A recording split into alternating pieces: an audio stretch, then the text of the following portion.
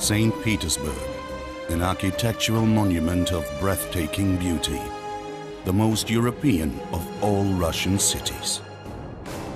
It draws in people from every country on earth. It's a city with a unique history. My name is Domenico Trezzini. I'm an architect from Ticino. I'm going to give this city its appearance, but will its splendor last? St. Petersburg was built as Russia's window to the West, as a bridge to Europe. But it's also a city full of dark sides and secrets.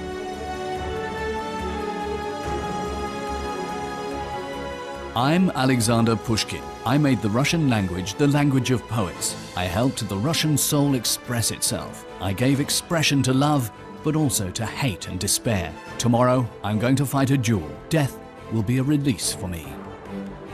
The city has been the scene of massive revolutions, and it was renamed Petrograd and later Leningrad.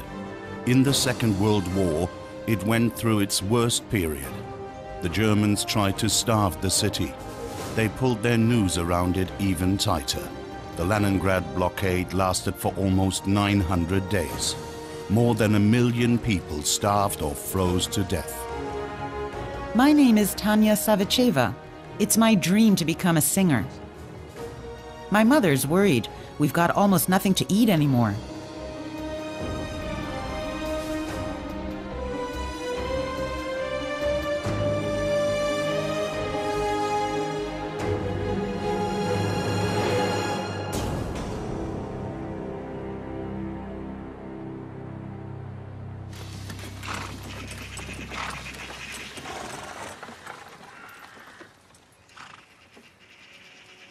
He could have become a legend, a legend of architecture and town planning, but the world has forgotten his name.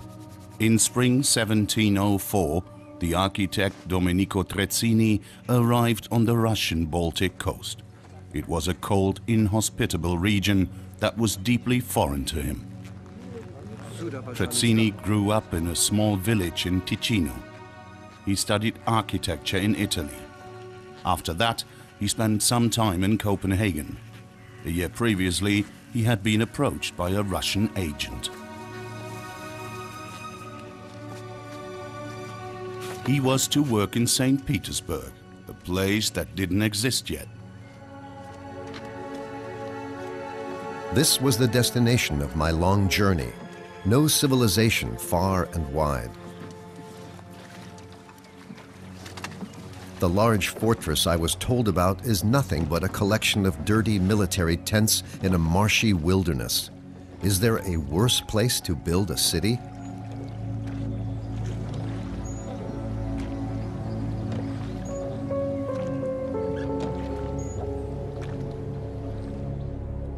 One year earlier, in 1703, Tsar Peter the Great had ordered the founding of a new city. He wanted to open up the huge Russian Empire to Europe, thereby leading it out of its backwardness.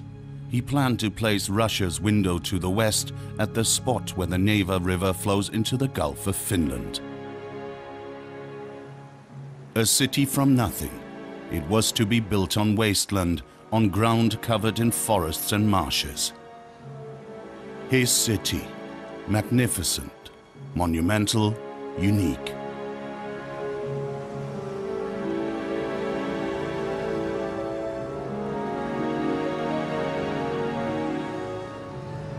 The core of the city was to be the Peter and Paul fortress on Hare Island.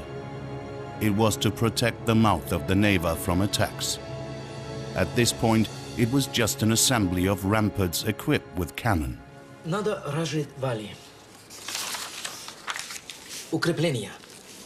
Здесь, здесь, Trezzini's first task was to build a proper fortress in this location. Then he had his first meeting with the Tsar. It was fortunate he'd learned a bit of Russian beforehand. Но тяжело их вести сюда. У нас уже много работы. Много работы. If only Tsar Peter would say something. Господин Рацинин, Э, произошло несчастье. Пойдемте со мной. Another worker had an accident on site. Ваше Величество.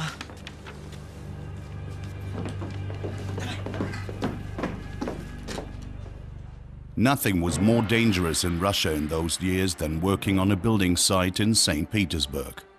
Accidents, fires, floods were all regular occurrences. Several hundred people died during the construction of Peter and Paul Fortress alone.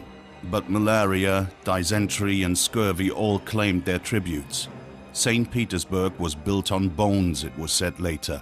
Nobody counted the victims. Especially not Tsar Peter.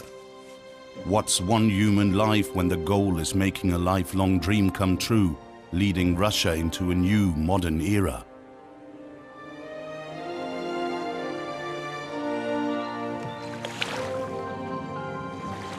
Domenico Trezzini's discipline and hard work quickly allowed him to rise in the Tsar's favor.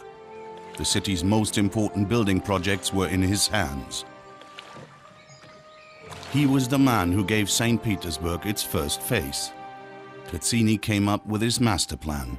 He determined the road and canal network.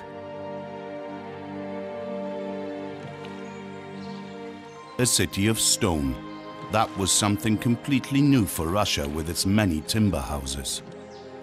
I can hardly believe it myself that this place was marsh and forest just a few years ago.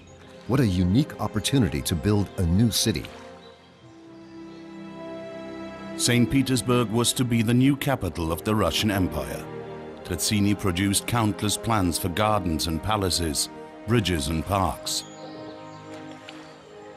Will coming generations also appreciate my city?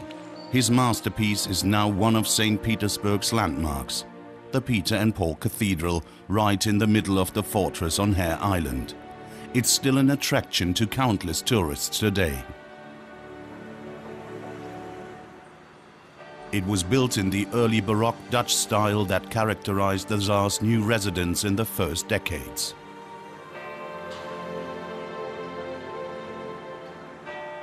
Its bell tower rises 130 meters into the sky. A carpenter and seven of his brave colleagues risked their lives to install the gilded tip. Trezzini constantly wrote letters to the head of the building office. He was worried about his workers. The number of accidents was increasing. The sick often received no medical treatment. A few days earlier, 20 carpenters had gone on strike because they hadn't been paid. They weren't even able to buy shoes to work. How about him? Was his work appreciated? Some of his colleagues were paid far more than he was, even though they only worked half as much. That was reason enough to write a letter directly to Tsar Peter.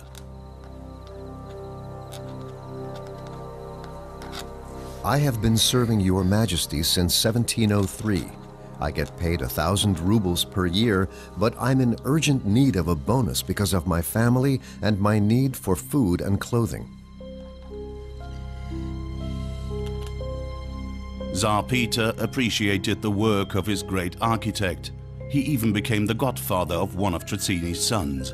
But he didn't grant him any more money. Trezzini gave all his energy for the new city.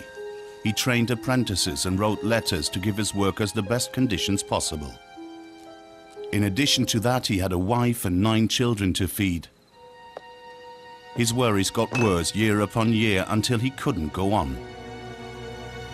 On the 19th of February 1734, Domenico Trezzini died at the age of 64. He was up to his eyes in debt.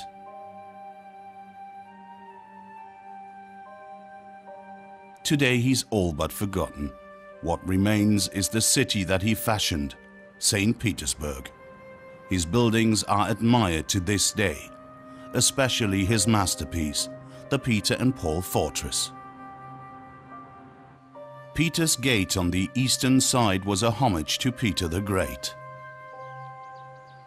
At the southern end of town, the Church of the Annunciation at the entrance to the Alexander Nevsky Monastery.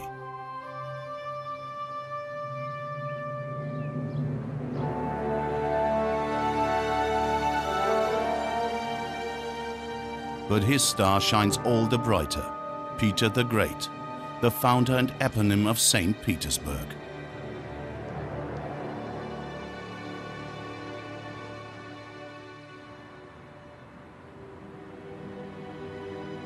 For decades, the city had a secret. A veritable treasure lay hidden in the summer palace that Trezzini had built for his master. A treasure the population knew nothing about, a room lined with amber. King Frederick William I of Prussia gave it to the Tsar in 1716. The soldier king, as he was known, had no appreciation for the expensive frippery that his father commissioned. Packed in 18 boxes, the room was moved from Berlin to St. Petersburg in horse-drawn carriages. The Tsar wasn't so sure what to do with this work of art either, and so the treasure lay unheeded in the summer palace for the time being.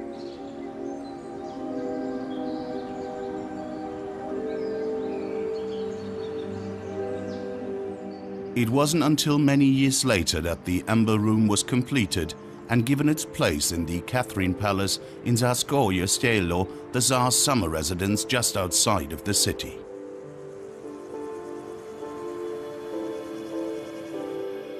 It was admired there by generations of people for almost two centuries.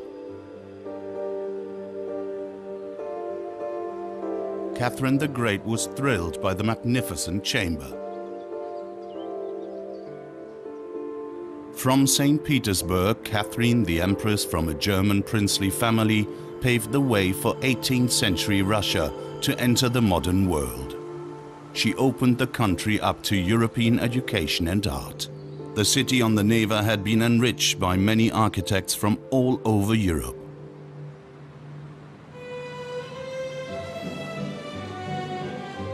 One hundred years later, St. Petersburg had long since become the heart of Russia's social life. It had an atmosphere full of pomp and magnificence, but also of vanity, envy and betrayal. After the war with Napoleon, French, the language of the European aristocracy, had become the language of the enemy.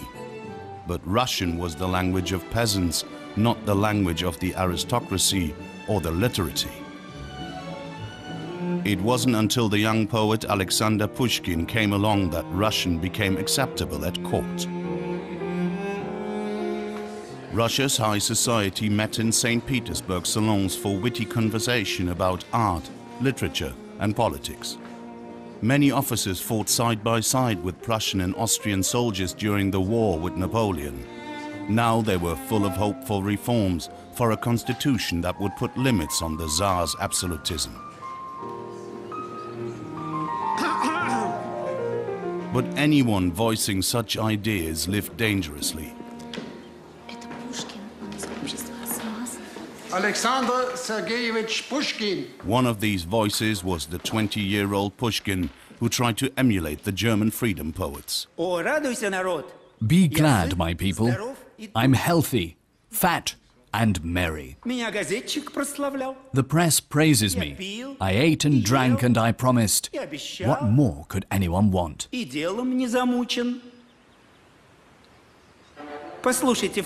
But you should also know the following, so I will tell you now. Lavrov is being thrown out and Sots is being admitted to the madhouse. This was too much. Lavrov was an official in the Ministry of Police and Sots was a censor.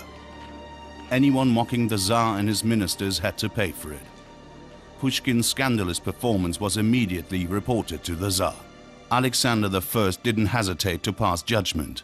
He banished Pushkin to Russia's far south, to Bessarabia. No society, no salons, no scandals. It was here in this isolated location that Pushkin started collecting Russian folk tales. Many of his most significant works were written here. It was here that he became a popular poet. I've got used to the sadness. I've made peace with my fate, and I'm bearing this life with a stoic soul. Meanwhile, an uprising took place in St. Petersburg. Nicholas I had acceded to the throne. In December 1825, officers refused to swear allegiance to the new ruler out of protest against serfdom, arbitrary treatment by the police and censorship. The leaders were hanged and more than a hundred people were sentenced to forced labor in Siberia. Pushkin was friends with the initiators of this uprising. He even drew some of them. The fact that he was in exile during the uprising was his salvation.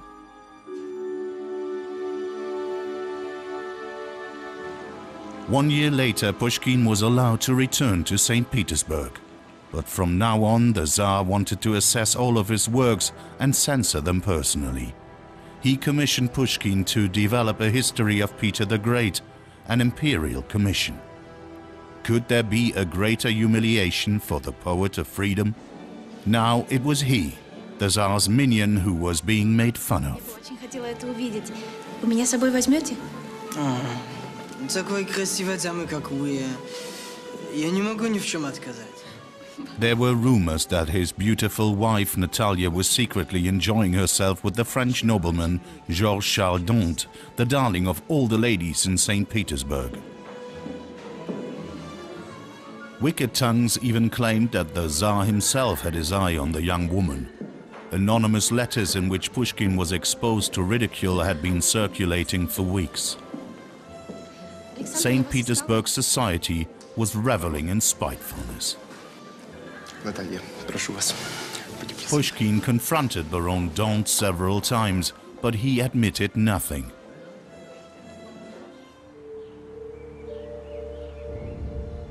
In his flat on the Moika, right in the heart of St. Petersburg, Pushkin made a fatal decision.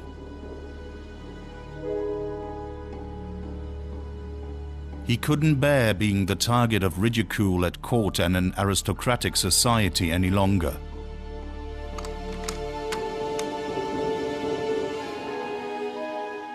The continuing humiliation got mixed up with his jealousy. Only a duel could save his honor.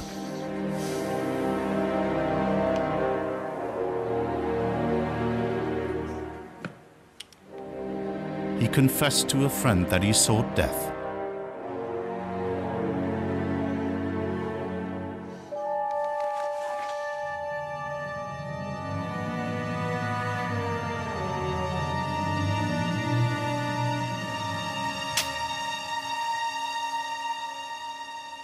On the morning of the 27th of January 1837, Alexander Pushkin set off to the river in St. Petersburg to duel with Baron d'Anthès.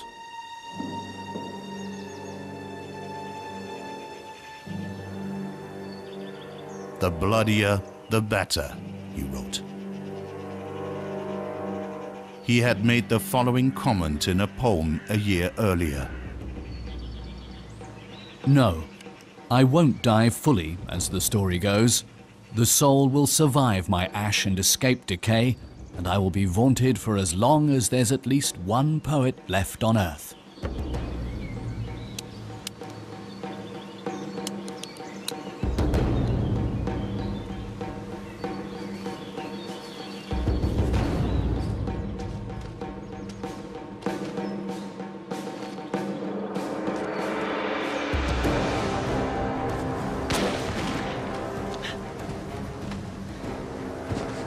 Baron was only slightly injured, but Pushkin was badly hurt.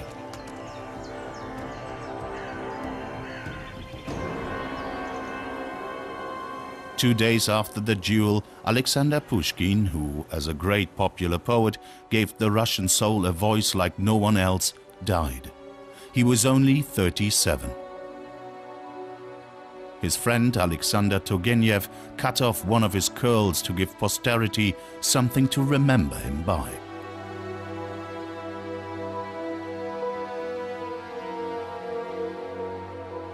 When news of the poet's death spread, thousands gathered outside his home. They filed past the body for three days. For them, Pushkin wasn't just the Tsar's chronicler, he was first and foremost the poet of freedom. His death as a silent protest against the Tsar's autocratic rule. The dream of freedom it stayed alive in St. Petersburg.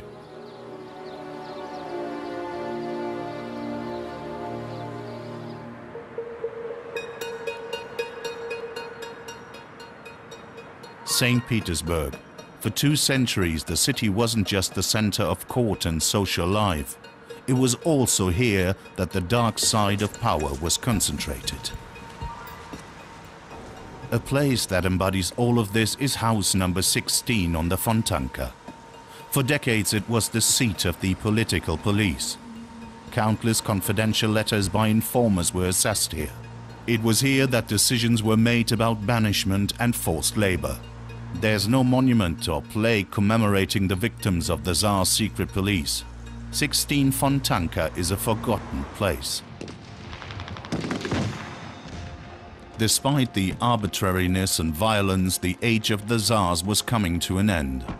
Revolution broke out in the middle of the First World War. In February 1917, Nicholas II was forced to abdicate. Tsars had ruled Russia for almost 400 years. All that was over now. A provisional government took power in the city, which was now called Petrograd, because Petersburg sounded too German. The Winter Palace, formerly the Tsar's residence, now became the seat of the provisional government.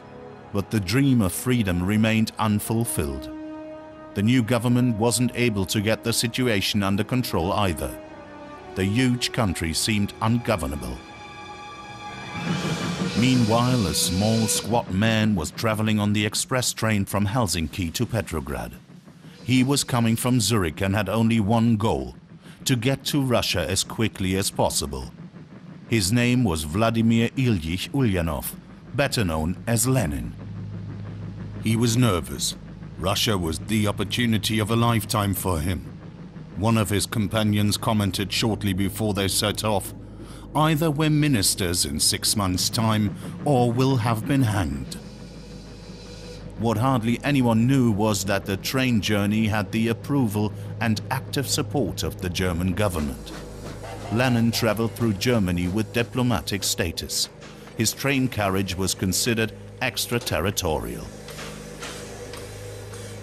The German goal was for Lenin to proclaim revolution in Russia. This, they thought, would sap the country's will to continue the war with Germany.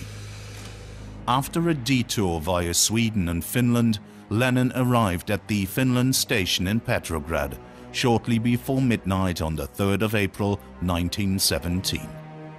The original train can still be seen there today.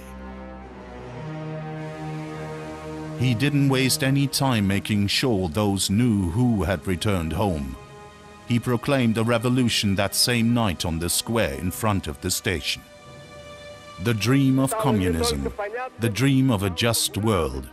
The factories were to belong to the workers and the soil to the farmers. Just like Peter the Great, Lenin wanted to modernize the country. But this time the wealth was to benefit everyone. However, Lenin first needed power and then peace. One day after his arrival, the head of the German military intelligence service in Petrograd sent a message to Berlin. Lenin's arrival in Russia successful. He is working as desired. The German general staff didn't just organize the journey. For years it had been giving money to Lenin's party, the Bolsheviks. The German-Russian money trail ended in an inconspicuous flat in Petrograd's Baskov Street. This is where the money was laundered. The flat was home to the Polish lawyer Mieczysław Kozlowski. He channeled the millions from Germany straight into the Bolsheviks' kitty. The Bolsheviks were thereby able to build a powerful party and fund the printing of their newspaper, Pravda. After just a few months, total circulation had risen to more than 3 million. Money was never a problem for the Bolsheviks.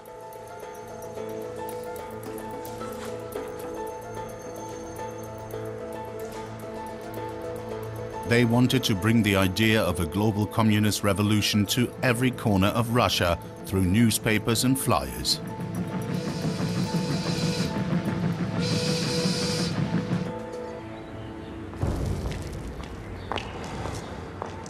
But then the Russian Secret Service struck. Early July 1917, a money courier was on her way to the secret meeting place in Baskov Street to deliver the latest funds from Berlin.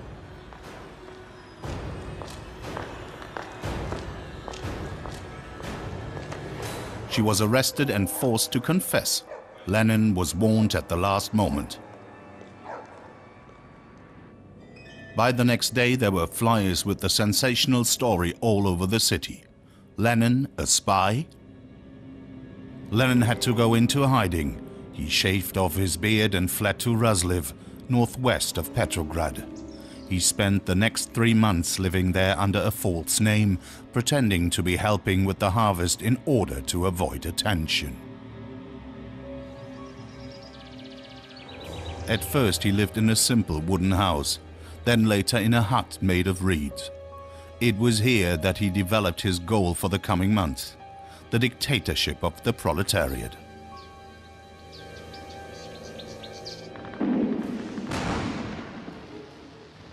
In mid-October 1917, Lenin secretly returned to Petrograd. On the 25th of October, the Bolsheviks struck. Police stations, train stations, the post office, the state bank, the electricity works, all of the city's strategically important locations were occupied. There are only staged images of this day, ideologically inflated ones. We can only imagine what the October Revolution actually looked like.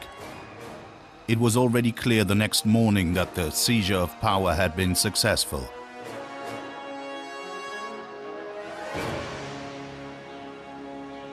Lenin now resided in the Smolny Institute, a former educational institution for aristocratic daughters on the outskirts of Petrograd. He had proclaimed just a few weeks earlier, we're ready at all times to hold all the power in our hands. Now the time had come. As the chairman of the Council of People's Commissars, Vladimir Ilyich Ulyanov became the new Russian leader. He still wrote his pseudonym Lenin in brackets at this time. A rapid climb from the cellar to power. My head spins. The German money kept on coming. A few days after the revolution, the German General Staff made a further 15 million marks available in order to keep Lenin in power. The plan was successful. In return, Russia relinquished large parts of the west of the country in the Treaty of Brest-Litovsk in 1918 and declared the war to be over. Germany was finally free to focus on its war with Britain and France.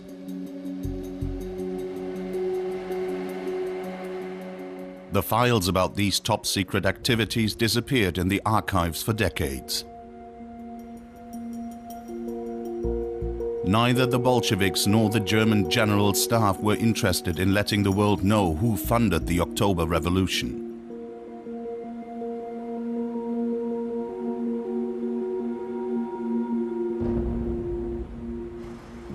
Lenin moved the seat of government back to Moscow.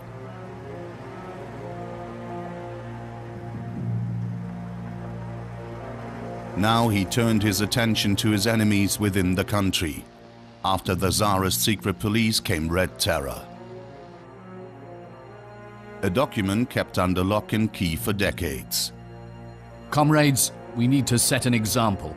At least a hundred known kulaks, wealthy individuals, and leeches need to be hanged. Do this in such a way that even people hundreds of kilometers away see this and tremble. Lenin. Those who didn't agree with Lenin were silenced. Freedom remained a dream. What about Petrograd? Monuments in Lenin's honor were erected in the city on the Neva. It wasn't to be seen as the city of Peter the Great anymore, but as the cradle of the great proletarian October Revolution, Leningrad.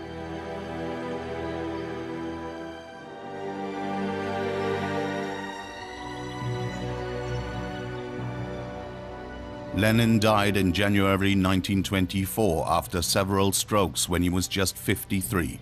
He was hardly able to walk or talk during the last few months of his life. His legacy was supposed to be the promise of paradise on earth, but in truth it was a totalitarian state. His final resting place wasn't in Leningrad, the city that got his name, but in Moscow, the original capital of the Tsars.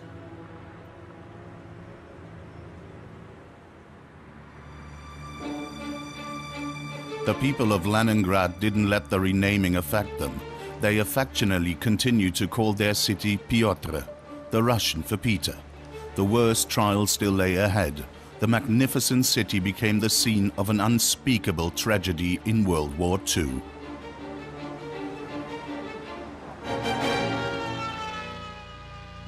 The 8th of September 1941.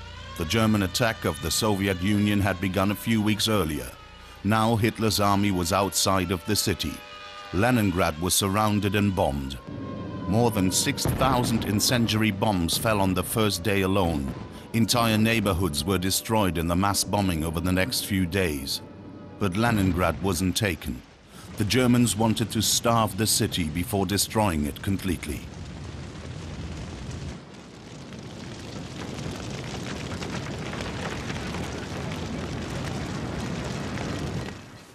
The 11-year-old Tanya Savicheva, a happy girl, was one of the people living in the besieged city. She dreamed of becoming a singer.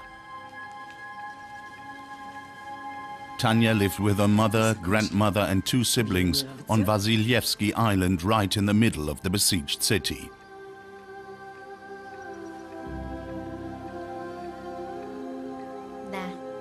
Her sister Nina and her brother Misha had been missing for weeks. Food supplies were running low. Nobody knew how things would go on. Winter was just around the corner.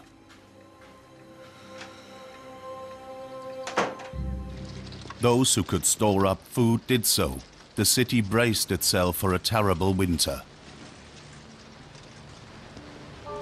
Artwork, statues and monuments were packed away and brought to bomb-proof cellars or, whenever possible, taken out of the city.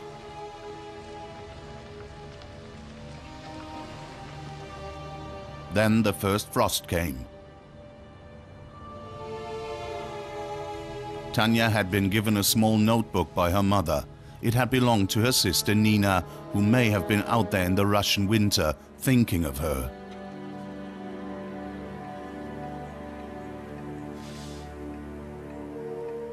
It snowed heavily yesterday.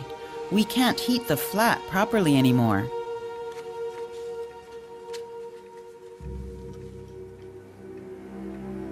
The first diary entry. Zhenya died on the 28th of December 1941 at half past 12.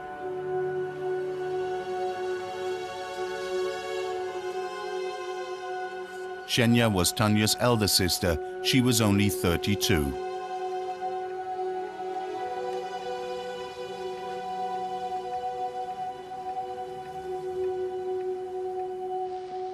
Every morning she had walked seven kilometers to the munitions factory to make shells.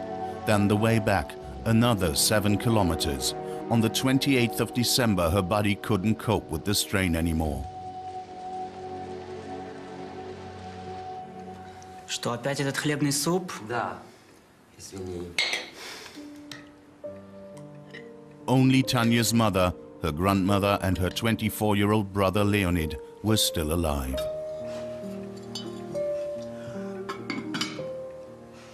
The Leningrad blockade had gone on for three months already.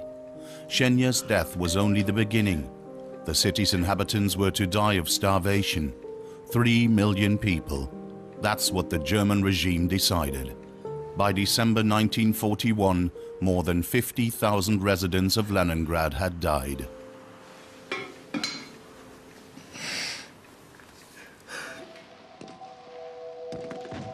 The German soldiers outside the city watched this mass dying. They had long cut off the most important supply routes into the center. The official position was that Germany had no interest in maintaining the population.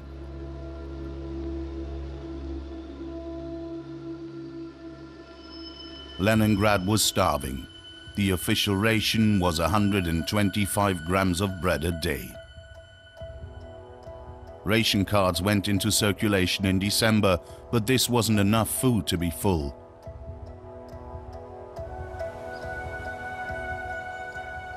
The only way for food to get into the city was across the frozen lake Ladoga in the east. The Road of Life, as it was called, was the last hope for the people of Leningrad. But the transports weren't enough to feed everyone. Vehicles fell through the ice when the weather warmed. No family was spared. Tanya commented at the end of January Grandmother died on the 25th of January 1942 at 3 o'clock in the afternoon. Two days after Tanya's 12th birthday, Leningrad, formerly the proud city of Petersburg, was slowly and pitifully breathing its last. The supply chain had collapsed. Those who had the strength to help themselves and others got what they needed to survive by whatever means possible.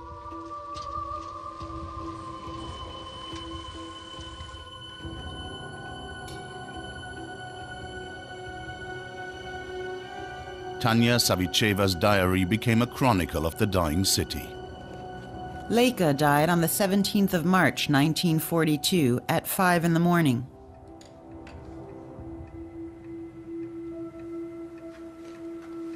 Now her brother was dead as well. A short while later, her two uncles died.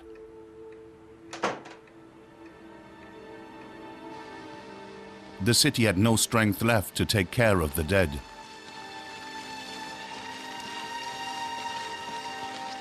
The dead bodies were taken to the cemeteries on sledges, where they were buried in mass graves.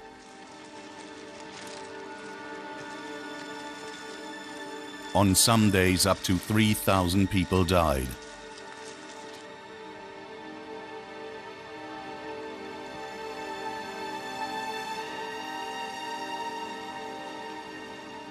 Some things that happened during this winter were too terrible to make public. These files were under lock and key up until a few years ago. Pavel Bashagin, on the 6th of December, he hit his wife in the head with an axe, chopped up her body and ate it. Sentenced to death by shooting. Igor Shevchenko, on the 18th of December, he took a male corpse from the cemetery home and ate it. Sentenced to death by shooting.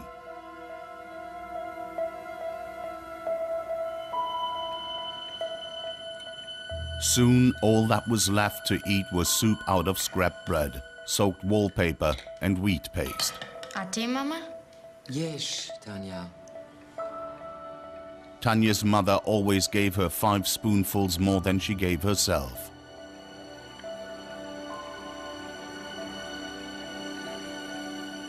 Almost a million people died during the first winter of the blockade. On Vasilyevsky Island, where Tanya lived, and in Leningrad's other neighborhoods. Tanya's last entry in mid-May 1942. Mummy died on the 13th of May 1942 at half past seven in the morning. All of the Savichevs are dead. Tanya is alone.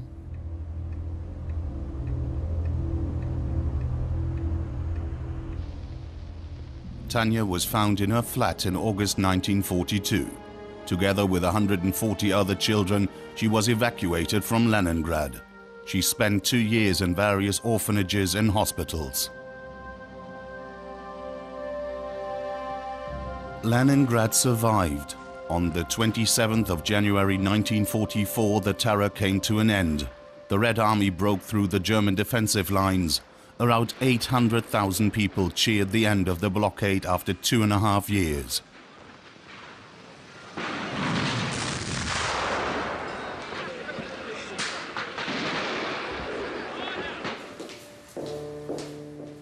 But it was too late for Tanya. A doctor noted,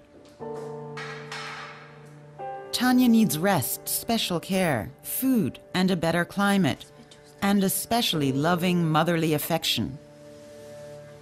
Her heart stopped beating on the 1st of July 1944.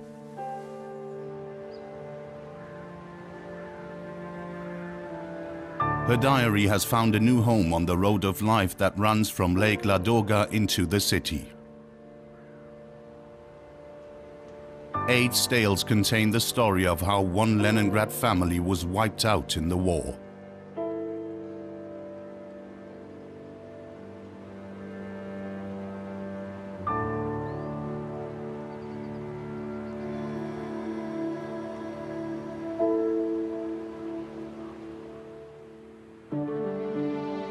After the end of the war, residential neighborhoods were built around Leningrad's old center.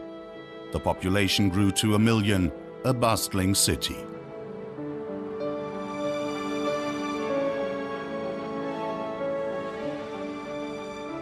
After the dissolution of the Soviet Union, the city went back to its old name of St. Petersburg.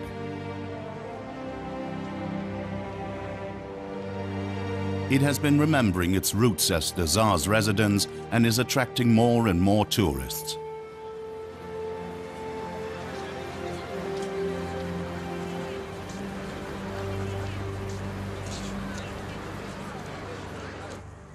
A German gesture of reconciliation took place in Catherine Palace in Tsarskoye Selo.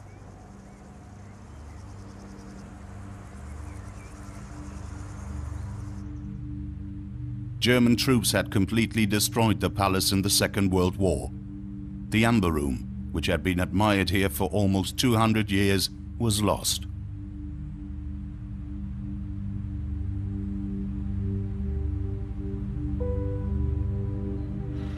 Restorers started working on recreating the eighth wonder of the world as it is known.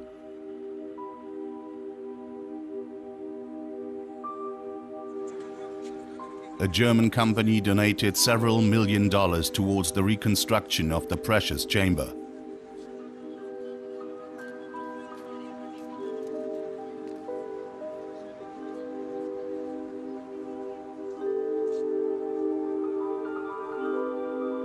On the 31st of May 2003, it was handed over to the public in a ceremonial act. The Amber Room. Since Peter the Great, it has been considered a symbol of German-Russian friendship. The fact that it was possible to go back to that after the Second World War is an important signal for both peoples.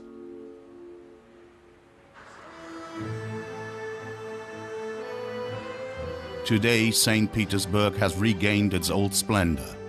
The city changed names three times, but at its heart, it always stayed true to itself. Germans, Russians, and people from all over the world now meet on the banks of the Neva. More than 300 years after the Tsar had his city built in a marshy wilderness.